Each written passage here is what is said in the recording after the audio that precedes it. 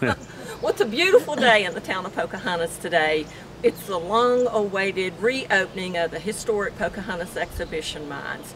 We've waited two years for renovations and uh, safety things that we've been able to do through the Department of Mines, Minerals, and Energy.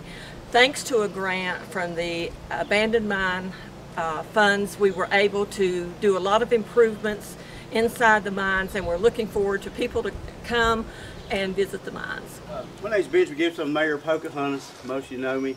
Uh, today we're celebrating a soft opening of the exhibition mines. Um, the mines have been closed for two years to, uh, due to some renovations that was provided by the uh, pilot project of the Mines and Minerals and Energy. Uh, the town of Pocahontas received $1.5 million um, around two years ago and last year we uh, received an additional 300 some thousand dollars. It was broken down into two phases. The first phase was to stabilize this mines. Asphalt the parking lot, uh, rewire the um, exhibition museum mines, um, and build a 2,200 square foot restaurant. Now, when you walk into the mines today, um, we, we wanted to keep it as natural as it was. We did not want huge changes in here because that's what's special about this mine. So there was a lot of roof bolting done, new electrical, uh, there's kiosks, um, there's six of them throughout the mines that in the months to come they will tell individual stories of the section that you're in. Any coal miners here, I don't know, you're coal miners. So y'all will see there'll be a kiosk at the dinner hole and later on it will tell what the dinner hole was or what a break was or what type of piece of machinery it was. Um, they are uh, wireless, they're waterproof, you'll be amazed what they are. Uh, you know, we appreciate everyone coming out we hope to have a bigger grand opening in a few months. Um, y'all are the first tour, so y'all get an extra surprise today that most people will not see for months. Y'all will be able to go in the restaurant part. I'm going to uh, get the keys and we're going to go inside after you tour the mines and then for a few more months it'll be closed down. But um, we appreciate everyone coming out. And this is Michelle and this is Brendan. Um, you know, they're a little nervous today. This is the first tour uh, getting open back up, but uh, we appreciate everyone coming out. Thank y'all. All right, guys, like Ben said, I'm Michelle. This is Brendan. Y'all want to just start following me, we'll make our way up. Like this is the whole reason that this mine even started. A blacksmith that lived about a mile and a half from here named Jordan Nelson found an outcrop like this and used it for his blacksmithing shop. Um, wasn't too long later that Jed Hotchkiss came along and started making notes about this outcrop that's how it just pushed on through and started being shipped all over America. Y'all just want to keep on coming with me. And like Ben said, I am nervous. This is my first tour. The doorway that we just walked into, this was originally the exit of the mines. This is where the, the fan was. And we'll be going out through the entrance once we make our way around. Right here is where a brattice cloth hung. I'm not exactly sure of the term that was used back then when this mine was open. Um, but they would normally have young boys pull that to keep the oxygen out of the mines if they needed to, you know, keep it down if there were gases and things like that. So if you'll just keep walking with me.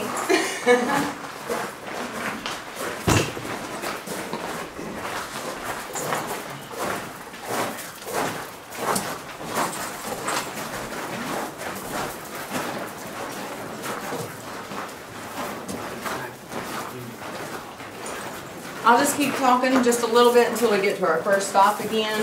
Um, of course, this mine was opened in 1882. Within a year, they had shipped out their first coal car of coal, and it went to the Norfolk, Virginia mayor as a gift. Now, who actually owned this mine? Um, it was started by Southwest Virginia Improvement Company back then, but of course it changed several times and ended up being Pocahontas Fuel Company. Um, over here to the left, you'll see an example of the, the coal seam. Um, this one says 10 foot, but it has been noted that it went all the way up to 15 foot in different areas. Y'all can just keep walking. uh, how old is this coal? How old is this coal? Oh, millions and millions of years. Um, That is something, not the date exactly, but I will talk just a little bit about that here in just a second. Now, over here to my left, you'll see what Ben was talking about outside. This is one of the kiosks that were placed in the mines.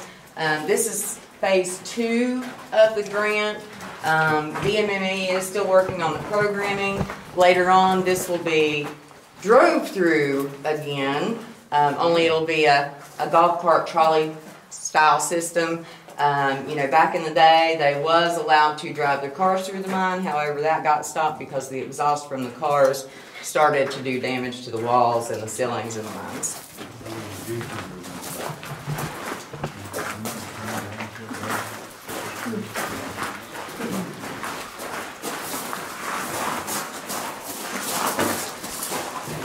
Over here on my right, I'll let y'all get just a little bit closer and I'll shine my light so that you can see.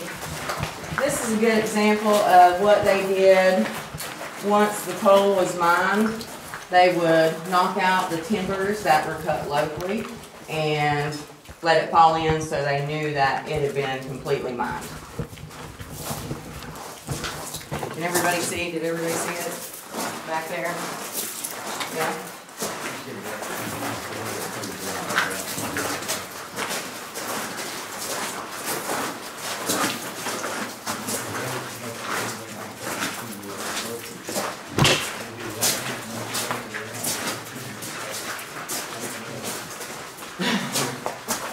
Not too pretty, is it? Now, if you'll notice over on your right, my left, um, this is a Morgan cutter. Um, unfortunately, some of the timbers have fell on top of that. Um, the mine is safe. Let me assure you that the mine is safe. Um, one of the first phases of the grant that DMME did was to come in and put many more root bolts, um, Heintzmann jacks, and they did the electrical too. So you are safe walking through here with us. And keep in mind, none of these cutting machines were actually used in this mine.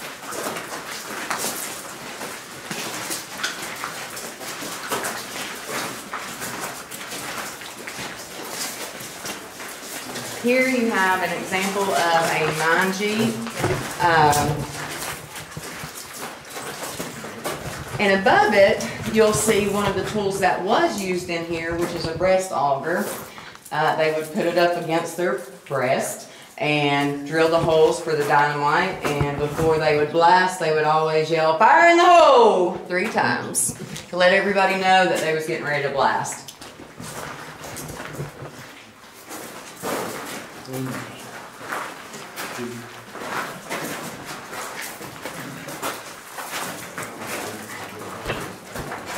then right here you have an example of a prowler loader. Uh, this was actually what took the place of the miner. And right above me here, you'll see one of the very first fossils, which is in the shape of a fish. Everybody see it?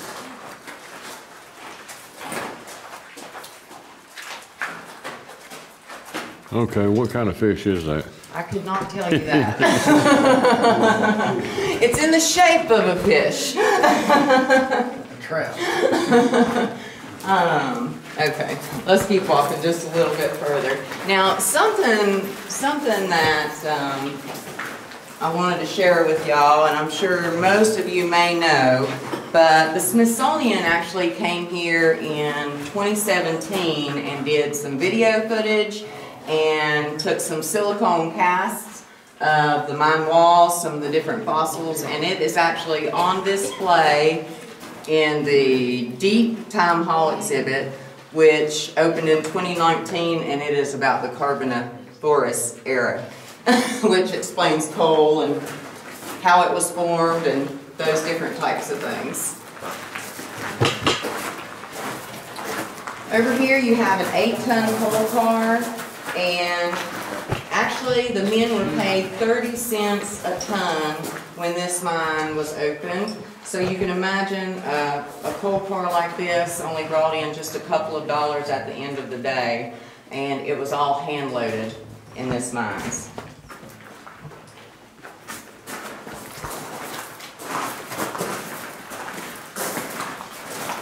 Y'all to the next fossil over here too. Right here. Um, over here to your right is the dinner hole. What do y'all see beside that miner? Rats. Rats.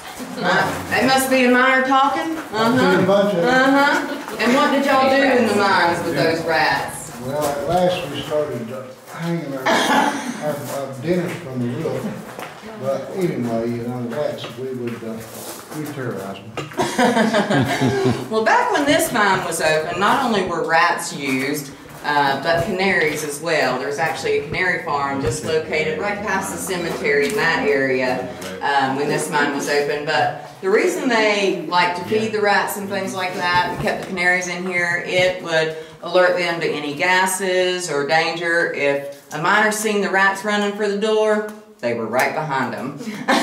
and then right over here behind here, there's another example on down. You'll see that basket. That was a rescue basket. They would carry the miners out in that if they were hurt. Now, here's a really good fossil as well. This is a tree, a poplar tree to be exact.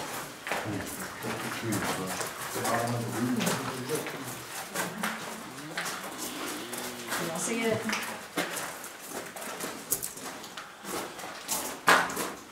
Okay, do we know what kind of tree that is? That's a poplar tree. I do know that one. And then right over here on my right, your left, you'll see a hand dug undercut, which was done in the eighteen hundreds. Uh, this was not a paid job for the miners, so they would normally bring the young children in here to do that job for them. And then right on up here, you have a two-man saw. Some of these hand tools were used here in this mine. You have a two-man saw that was used to cut the timbers, which was the very first thing that held the roofs up for these miners. Long before roof bolts and, and things like that. Okay. Now, since I don't have any kids with me today, because I try not to talk too much about it, but um, as you know, March 13th, 1884, if you don't, 114 plus miners, children as well, were killed in this mine due to an explosion. It was exactly two years from the time that they had opened this mine. Um, that part of the mine was sealed off for 31 days. It was flooded, and then when they opened it, it was all drained into the to the creek here with a lot of disinfectant as well. But that's why the Pocahontas Cemetery was created for the for the mine disaster that happened here in 1884.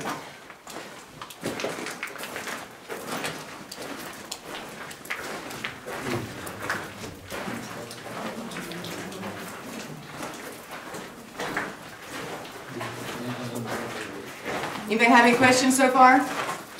Can everybody still hear me? Yeah. How many people worked at this mine at its maximum? That I can't answer, but it's a good question for me to write down to be able to answer later.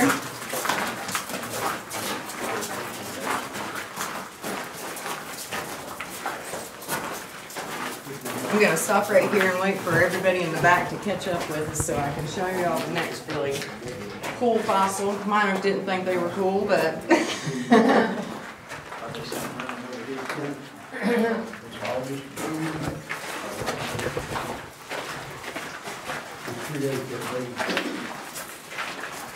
Okay, up here to my right, this is the best example of a kettle bottom, or a widowmaker, as the miners like to call it. Uh, This made a, a lot of wives with us. And this one is an oak tree.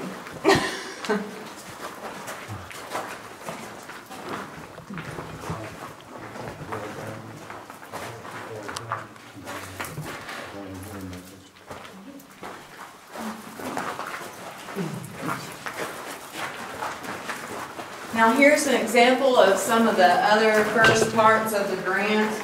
Um, some of these jacks, well there were more jacks put in place here and there were also some moved in order to make room for the second part of the grant, for the golf carts to be able to, to drive through here easily.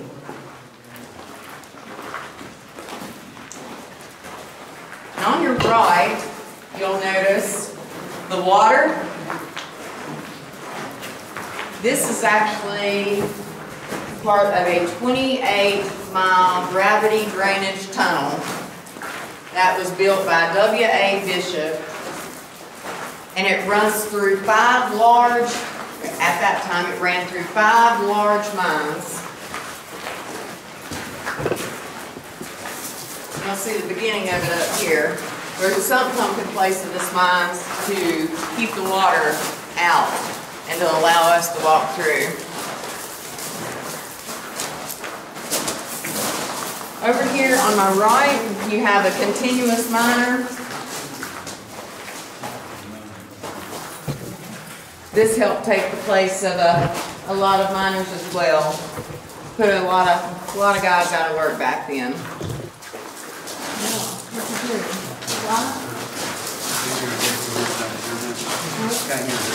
Yeah, absolutely. Uh, once everyone gets up here, in the early 2001, 2002 time frame, this area right here, they had a huge fall, and that kind of closed the mines for a while. And that time, Pat Hurley was mayor, and uh, that's when the Department of Mines and Minerals really got started here. They come in and removed the debris, and at the time, there was, they had some jacks here, and if you see, they just, uh, you know, roof bolted the brows here. You know, this is a lot of work. This, this section right here was really bad. Uh, your ribs, you see all of the roof, they're bolting in the ribs, but this section was the worst in the early 2000s, and that's how it started with the relationship department of mills. But as time went on, uh, they came back, and this was some of the work they just recently did. Uh, this section right here, Michelle, I don't know the height, you, you know the height, this is the high section right here in the mines. I'll Uh, the height of this section. I think it's 28 feet. well, it's probably close to twenty something. This right here, we constantly, we have to come through, you know, you check your jacks if there's any looseness to them. Um, you know, you coal miners, y'all know the crib blocks and things, we gotta check it. This is the section that we wash the most in here. It's just because of the sheer, sheer, height of it. And, um, but like Michelle said, this is the continuous miner and, uh, go ahead, Michelle. Yeah, I just gonna add that part. Oh, no, you're good, you're good. Um, right over here to my left is actually part of the drainage tunnel that was built by W.A. Bishop. And it actually is 28 miles long and runs through, um, all the way up to Anawalt. And the coal seam that is here goes through seven states and ends in Alabama. Yeah, what's the name of this coal seam? What? What's the name of the coal seam? the number one coal seam. And it's bituminous, sub-bituminous coal. It was the cleanest burning smokeless coal. Here's some of the, some of the original locust posts. They've been changed over the years. Uh, Over the years, we've moved some of these out and, you know, went back with the newer type of jack. Some are water jacks or screw jacks. But used, used to be they used locust posts. When we first came in here ten years ago, it was, there was locust posts all the way down through here. As time went on, now some of this, looks like just a standard telephone pole, but on, up the other side, there's some posts that, um, they're a treated type of timber from Australia. And those, those were experimental products that they tried in its mines in the early two thousands when they was rehabbing it. So a lot of stuff was donated to save this mine. So you'll see as you go through here, different products that was donated to the, to the town to help save this project. No, you're good, you're good. Um, over to your right, you'll see an example of a roof bolter. Um, I'm not good with years, I can't remember the exact year of this, but of course, now there are much newer, updated versions of the roof bolters. Um, you can see some different examples along the side there of roof bolts and on the the roof bolted machine itself. And I think there's even some adhesive over there.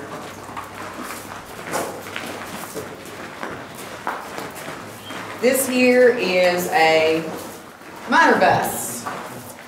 And you would have six, eight men climb up on each side of this to take them into the mines. Again, not this mines, of course, but they would just crawl right on up in here. People normally, this area, I can't tell you how many people have crawled in this thing to take pictures over the years. And then on my right and left, there's a perfect example of rock dust. And I think this rock dust was done by the limestone quarry. And uh, the reason for that was to keep the coal dust down, to keep explosions from happening.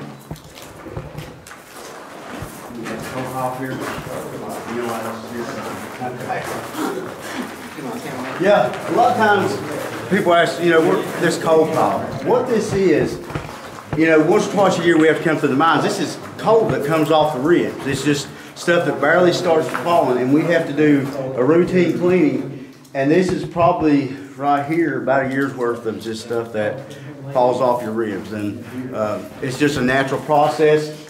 Um, you know, the town, they'll, they'll bag that if you wanna buy it. It's just useless. A lot of people ask what we do with it, but, uh, that has fell off the ribs and then we slowly go up here and pile it up here. That's what that is.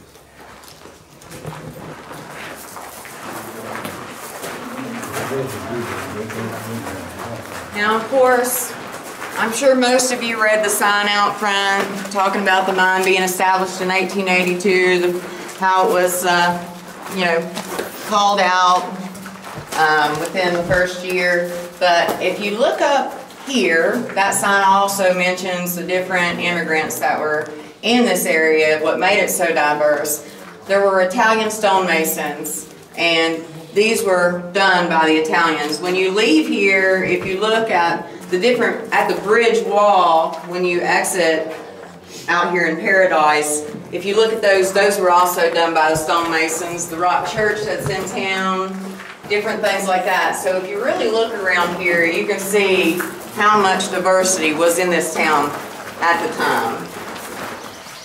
Now, we just exited out the original entrance of this mine. And a story that I've been told over the years is you walked out of that cold, cold mine, when the miners would come out, they said it felt like paradise. And that's how paradise got its name. Now that's just a story. I've not read it in a book. So take it take it with a grain of salt. It's just a really neat story to talk about.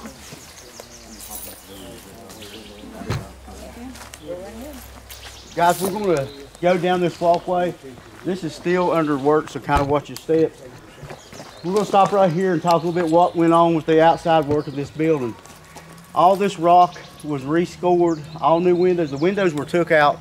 Any panes that need to be replaced, and what was unusual about these windows, they had all the bars on the inside. They had to remove the bars, replace the bars, put them back. Uh, all of it's original, other than a couple glass planes up on top. Some of the windows replaced, but most of those are original. Uh, when we first started this project, we wanted to, how could we protect those windows on top of the museum? We wanted to put plexiglass. We wasn't able to do that because Department of Historical Resources said, please do not put plexiglass over it. So they were all replaced. Um, new guttering, all new drainage around the outside water drainage. This building, uh, come to find out when it was, when they started working on it, it was still hooked to an original type sewer system. It was hooked, was never hooked to the newer sewer system. So it was all had to be done. I mean, they went through here with new sewer lines, uh, new water lines, but this ramp through here on this right hand side, which you'll see more of it when we get inside the restaurant. In the future, this is where the food will be delivered through. Through the trash be took out. Um, the leasee on the restaurant hold, uh, the, the restaurant is eventually going to stand outside dining through this door here. Um, back here, we still got to do some sidewalk work. That's more phase two. But as you go down through here, kind of watch your step, and we'll we'll go inside the restaurant.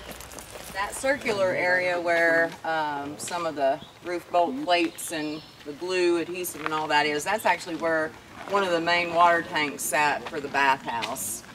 Just something interesting to, to note. Like you said, watch your step back here. Um, another I think is neat thing to uh, talk about was the electricity since the mines and the museum just got revamped. Have pretty much an overhaul of all the electric. You might want to watch. You Yeah. got good boots on too, don't you? Y'all be really careful if you're not walking on the sidewalk up here. It gets quite muddy. Uh, but anyhow, one of the things that I was going to say, the this mine's actually received power for the very first time in 1903. Before that, of course, and you'll see some different examples of their different lights and things inside of the museum. Um, but in 1913, the town received power from the mines. And of course, all of the supervisors, superintendents, big bosses, things like that, were given free power. So y'all just keep on coming and, and uh, Ben's gonna show you all the start of the new restaurant. Yeah, so where we're standing right now is the lobby entrance to the restaurant, uh, future restaurant. Uh, one, this right here, I don't know, how many's been here before? So you remember what this was, kind of? And I don't know, Michelle, did you show them the original bathhouse area? No. Okay, let's walk down here first. We'll take a left here. I didn't know if we was Yeah, able to do that. On this tour, we're going to today. Okay, just today? Y'all, They're, yes, they're getting Just a today? special tour. yeah. Take notes. Yeah, that's why the first tour was the best, you got to see it all. Uh, So, uh, pull that back in here. Just put it what it is. Yes, where's that wash mules, yeah.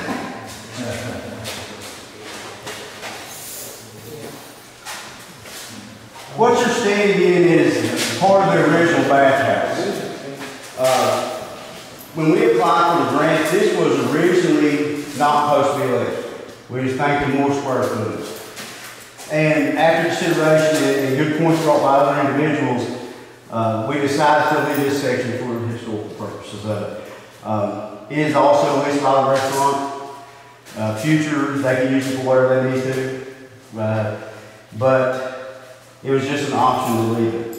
Um, Ten years ago, or even a year or two ago, you would come through here, this is originally, and all the way through here, there was baskets hanging, and this bathhouse wall extended all the way down through the other end. Um, I don't know how many miners come through, but it was probably quite a few at one time. And uh, this is some of the original concrete that was left. Uh, this is a new section for water and sewer put in, but um, all new heating and air conditioning put in. Those windows were covered. Uh, I don't know how many remember that the windows were covered, but those windows were actually redone. Uh, those actually the wood covers that went over the windows, but those windows were redone because it was just small, small things like that made a lot of difference in here, especially this the because before they had paneling boards on where the windows were knocked out, stuff, so all that was redone. Uh, but we'll make our way to the restaurant here and we'll make our way. Something interesting to note about the bathhouse here, and of course the miners could use it daily, but on Sundays, the Pocahontas Fuel Company allowed the miners' families to come on Sundays to get a bath. Just a neat little bit of history there. So these paintings were done in 1997 by uh, Carla Miles. And, you know, that we wanted to preserve it. So during construction, this was all covered. And this building had drop ceiling in it. All this wall is here covered. I mean, we, we chose an open theme roof in here. And we painted the black because we wanted to resemble, resemble coal. And the metal was to resemble more of an industrial look. Um, and naturally, the paint speaks for themselves. Um, same type of light here inside the mine. These more LED type light in the roof. Um, extra doors that we had to cover the windows that was stuck here, we put, put them on the wall for, um, just cosmetic looks. Um, This, this is actually, we're holding 100 some people in this room spread out. Um, That does have capability of buffets here. Um, Naturally, your fountain stand and stuff will be on the right. The, uh, this building is what you consider a green building.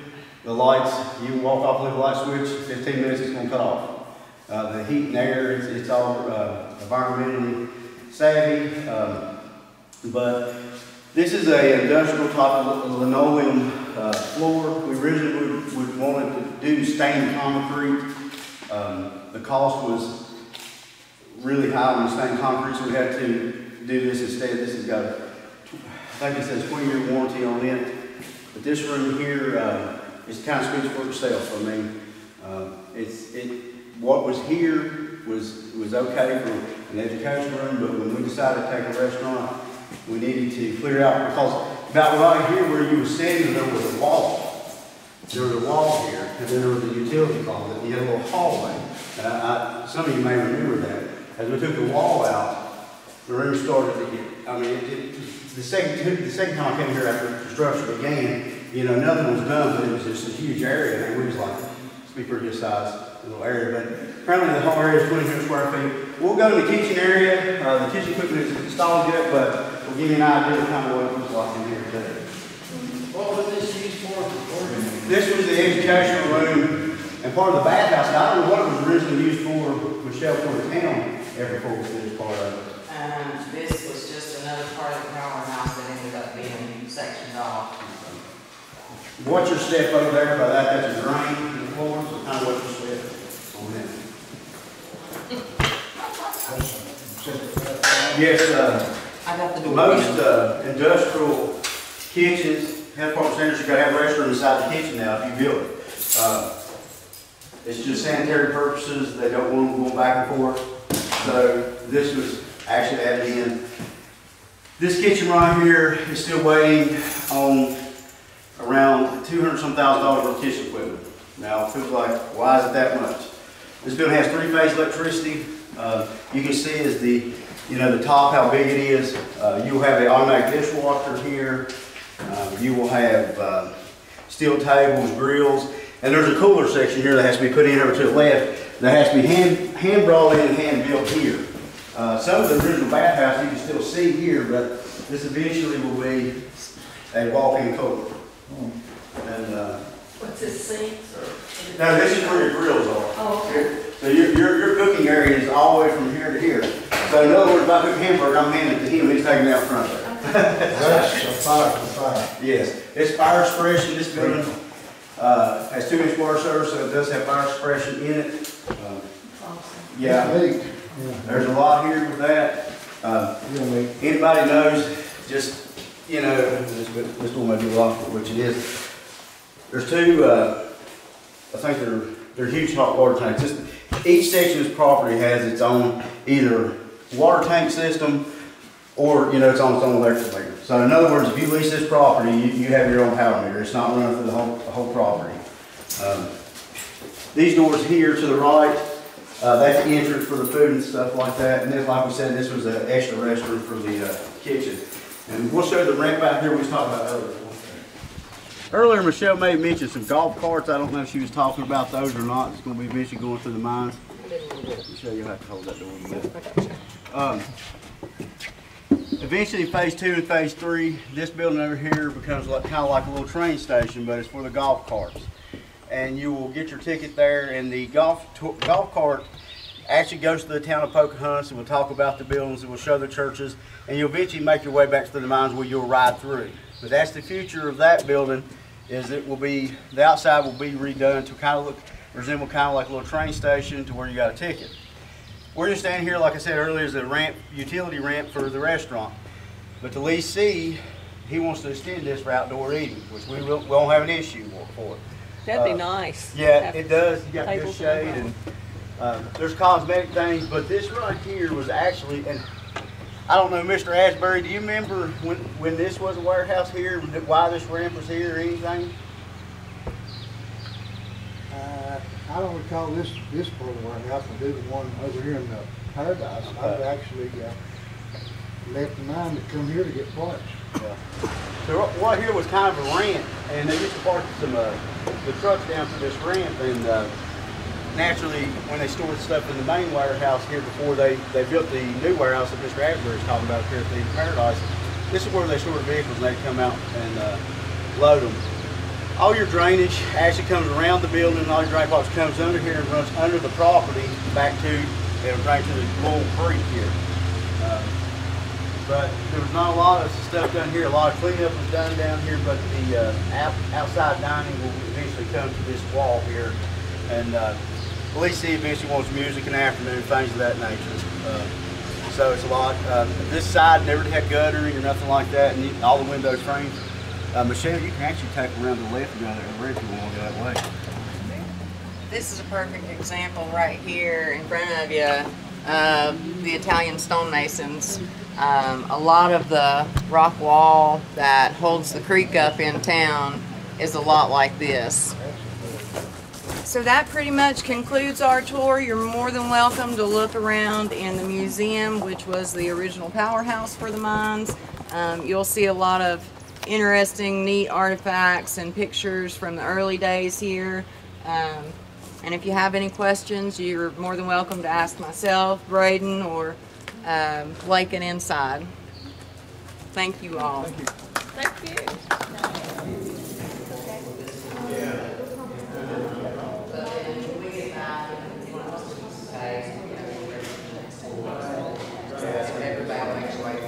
To the front.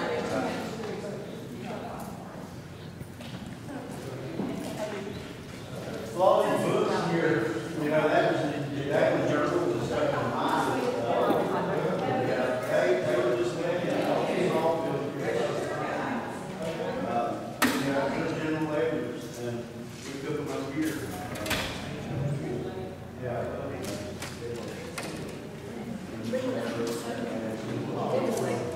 Company built the Opera House, but they also built an original fire station here, which over the years, the town sold the property. Um, they sold about three years ago, but it was it's been in disarray for a while. But since the time the Virginia Improvement Company built these buildings, the town of Pocahontas has owned them. So when they went to sell that property, there really wasn't a lot of deed work on it because it just said rest of the town of Pocahontas, but it was originally the fire station. Then this become this is the extra building. The town turned this into the fire station around in the mid 80s. Um, in 2005, they've left this building and it collapsed on the inside. And through the years, the town actually went and cleaned, you know, cleaned it out. Was trying to save the facade here. Originally, what we're hoping to do, um, we just got a $30,000 planning grant for this opera house to try to uh, study the feasibility uh, to save the property, but also the economic impact that would have if it could be saved. So this side over here, which would be the fire station, would have an outdoor elevator to get to the second floor because once we get inside, you're going to know the steps are very steep. They're not handicap accessible and they, they don't even meet standards today that Virginia code would allow. But it's covered through, you know, being historical property. Uh, but an outdoor elevator will be here and something here. Uh, I don't know if you've been to the Barter Theater. Oh, yeah. Uh, what's the Wolford House down Whipple? How they got more of a, a uh, waiting area before you go upstairs to a dinner show. Maybe this could be incorporated here. It's all about a vision with these grants. And you've got to sell that vision and to show how it's economically feasible to do it. This property has been closed for two and a half years. Um, about two and a half years ago, um, you know, we, we wanted to have a uh, structural stability study done. Thompson Litton donated their services. They come in and said what they see, the outside of the building is in remarkable shape. It needs, you know, some scored in the bricks and stuff. The outside is pretty stable. Um, what, what hurts this building the most is sand mortar. So water comes and starts washing the sand out, things start to sag.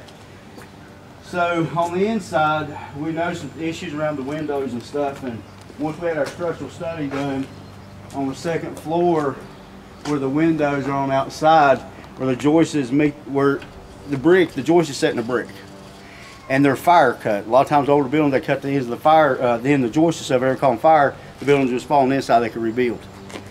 So the key to this building is take the weight off the walls and build steel structure inside of it, and then go put the weight on the inside. So, so the building has been set for two years. So when you get inside, it will be nasty and dirty because it's been setting. But Yeah. remember, it's under a uh, process to try to be re- saved. Well, what is this gargoyle about over here? Do you know? The gentleman that bought that building, he bought a gargoyle off. I know when y'all come down from the exhibition, man, so the guy makes all little concrete uh, statues. He bought that gargoyle and put it up there. I don't know. Yeah. but people ask about it all the time. They think it was with the property, you know. he could probably tell an interesting story if you really thought about it. Uh, brick streets, 1910, they were put in, and uh, before that, you know, naturally it was all dirt and uh, mud and things, but you're liable to see pigeons or anything in here, okay? But you so understand that we're, this is trying to save this property. To your left, you're, you're going to see pigeons, okay? They they get from the windows. Okay. This was the draw of the concern of what started uh, the issues of us trying to save this building. The town moved out of this property in 1986. They continued to use the Opera House for different things, and they'd have council meetings up there. When I was a kid, now that's how much I've been around the governor, you understand? so, the time I was seven, eight years old, there was benches through here. And Dad would come to a council meeting, and I would be bored to death sitting on these benches. And I remember they were so uncomfortable. They was not made for comfort. And uh, so I had a lot of memories being in this building here. And the benches were actually, this building went through a flood in 2015. You can go back through some of the history of the town. 2015, this under here, there was water. Gosh, it was probably over this table at one point. So we had to come in here at 2015, we, we cleaned up a lot, but that's what really started the outside problem. It was raining so much, it washed a lot of water out. So the benches, we, we actually took them outside, got them dried out, and they're, they're upstairs, we'll see them here in a minute. Uh, watch your step here, uh, it's just what it is. Uh, That's the original for the judge, you know. Uh, Earlier he's talking about, you knew Mr. Gilmore real well, and actually he would have held his council meetings here.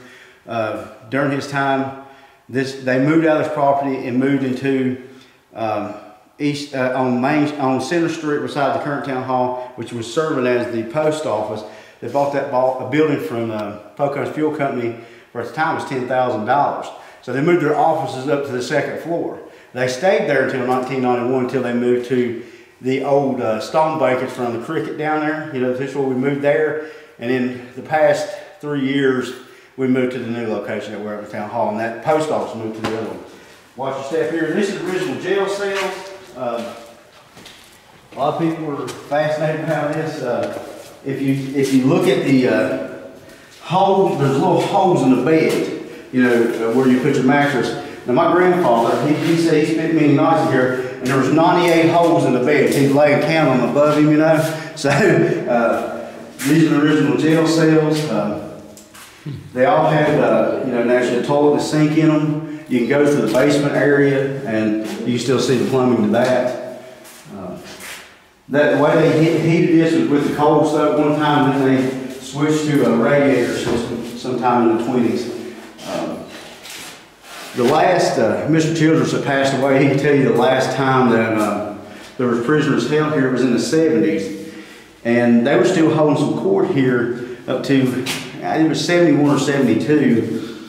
And what happened was, uh, the judge would come over and actually he, they would bring the clerk, you know, talk the minutes of the court session. Well, the clerk that day stood up against the wall and got her dress dirty. Yeah. Okay, got her dress dirty. And the judge said, you know, this building's getting too old and nasty. He said, we're, we're gonna quit having court over here. I'm gonna stop it. And that's what happened. That's, that's when they moved out here in the, in the early seventies. And they quit holding prisoners here. Today's standards, naturally the jail system wouldn't, you know, meet any kind of standards you have to have for a jail. But, um, I've also seen here around nineteen ninety-six, there was a haunted house in here. Now you're thinking, they call it the haunted jail. I can remember, you know, you come through and you go through the jail and it looked like prisoners were in there and, uh, uh, it, it was pretty good. Now we'll go upstairs, these steps, be careful on, uh, if you, we was talking about the original benches, right here they are. And, uh, but there was a slope in the floor here, and right in this section here, uh, it's just due to some older wood, it caused a sagging floor. And, uh, you know, this is part of, we want to see an elevator put in this section here from the outside, that what we're talking about. Yeah. A lot of people, they're like, what is this right here? And, uh, why is this here? I'm gonna let you guess what that is. Uh, Fire hose. Yes, you're right on. That was the fire system for up here, couldn't really got to call it fire. And, uh, there's something else, but this rug right here is a Persian rug. I, I was gonna ask you about that. I'll tell you where it came from. So, the funeral home that was on East St. Clair Street caught on fire, right? And this was the only thing they managed to save that funeral home was caught on fire was this rug. And uh, it's not been cleaned. We don't know how. We, we don't feel safe to get it wet trying to clean it. Uh, there's been a lot of talk of different things that can be done to it. But this was a Persian rug out of the, the funeral home that burnt down. This stage here, uh, naturally, you know, the curtain, the curtain's on the floor back here. It has to be rehung. And Michelle was talking about unrolling that, but it's not actually hung right now because this hang from a chain, the chain broke and we've had it rolled up back here. Um, naturally, in the floor, there's, there's trap doors and things like that. Um, you can go under this stage, we're not gonna go today, I'm just gonna tell you, uh, because the structural things of this building, I'm, uh, you know, I've got to kind of watch, but up there is the balcony. Um, you know, there's steps, going to the balcony, and, uh, you know, those are better that today, you know, if you was there to play. There's also a bell tower exit to the bell tower. Mr. Childers, you know, he told me this about these lots. These lots are not original. Sometime when World War One, World War Two was going on, this turned into a little sewing factory up here, okay? And it was leased out. Well, after the lease was over, they come back and all four chandeliers were gone. Uh, So they were removed during those times. And uh, that, that, my understanding there was four chandeliers that hung down quite low, and they were removed when the lease come back out, they were gone. Um, you know, Mr. Rosick and the individuals that passed away, they know a lot, they know a whole lot of history about this. In the seventies, they got a grant to do a lot of work in here. And, uh, because I, I couldn't remember it, now Tommy was telling me that the floor would be sloped. I don't know if it was or not. I mean, I, I, don't know, but it was kind of sloped down. I can remember, uh, Maxwell House doing a coffee commercial here in town. ah, And when they did that, this is where you come to interview to try to get in the commercial. I can remember coming up the steps and they would, you know, they'd put you on camera to see if you were, you know, a perfect fit for the role or not. And, uh, but I remember that. And then they used to have some dances up here in the 80s. I remember that. And then um, they had Halloween parties, stuff like that. But over the years, the town, since it wasn't its main main property, from the 80s on, I mean, they, they cut funding back here. They was putting it in other buildings because this, it went up until 86 when they was here, they heated this property, they did everything, you know, because all their government money was put here because it was their main thing. Yeah. I, uh, yeah, I don't know if I'd go up there, if I, I'm just, you know, I'm just, okay. Uh, but, um, the thing with this was they, they pulled the money out in 86, and when they did, this stuff started deteriorating. That's when um, the building's just too big for the town to maintain what it was, and sadly, it started going down. Work. that's a beautiful piece of equipment, isn't it? Who's it made by, do we know? I don't know a lot about it. My brother could tell you. It's right on the front here. Let's see.